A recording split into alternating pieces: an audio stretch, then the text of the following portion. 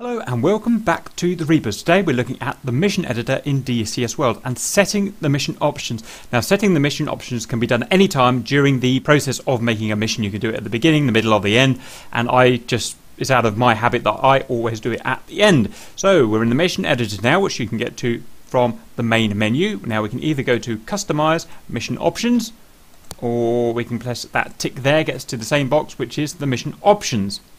There are several options as you can see going down here and there are two main columns. There is the value here, the default value and the enforce value here. So uh, let's just choose external views for instance.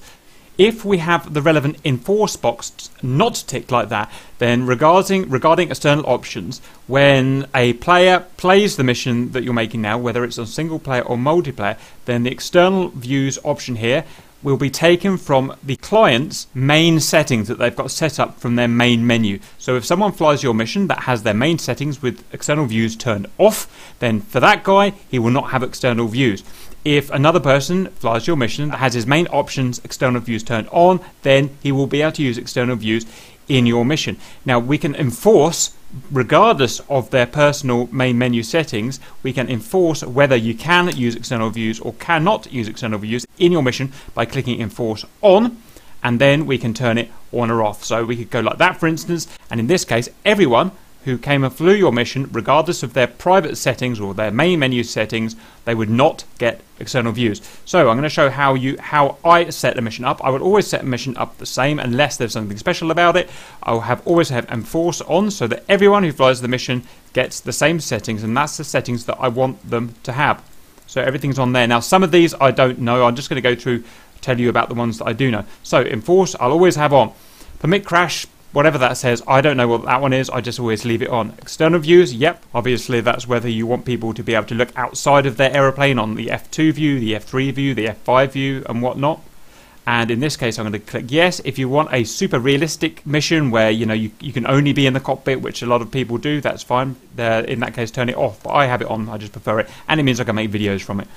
F10 view options. So if, if they're using the F10 map, as it's called, this is the type of display that they'll be able to see on that map, whether they see the map only, the pilot's own aircraft only, the fog of war, the allies only, or if they want to see the allies or, or both coalitions as well as the enemies.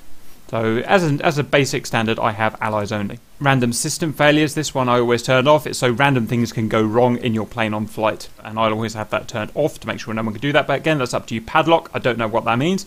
Unlimited fuel, unlimited weapons you can have on. Don't know why you'd want it, but that could come in handy. Maybe if it's a training mission, you know, and you don't want to have to worry about fuel or weapons, you could force them on like this. Radio assists, I've never actually understood what that actually does, so I don't know. Tooltips, this uh, allows you to, if you've got a high fidelity aircraft, you can hover the mouse cursor over a control in your cockpit and it will tell you what that control is. I always have it on, it's just useful, it helps people out generally. Immortal, I don't know why that would make everyone who flew the mission immortal, but it could have some use. Whether you want labels on for everyone who flies the mission, full, abbreviated, or, or dot only, but we have none.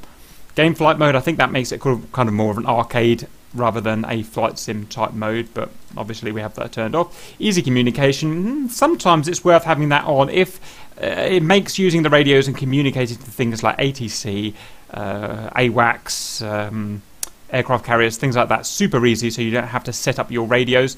Uh, we have it off, obviously, but there might be reasons why you want that on. Civilian traffic, I always recommend it having it off because if you're going to use it on multiplayer, use your mission on multiplayer, it can make it a little bit laggy, we find. So personally, I always have that turned off unless it's a special mission where you need the traffic. GFX, simulation, yeah, well, that's always simulation. Mini HUD gives you a mini HUD when you look away from your main HUD, a bit like the um, helmet mounted display in the F 18, I think. You might want that on for some reason, I don't know why you would, but there you go. If you want to first board, uh, force birds on, bird strikes, then you can change that here. Cockpit visual recon mode, I don't know what that is. Map user marks, if you want to allow people to play your mission to put marks on the map, there you go. We always force that on.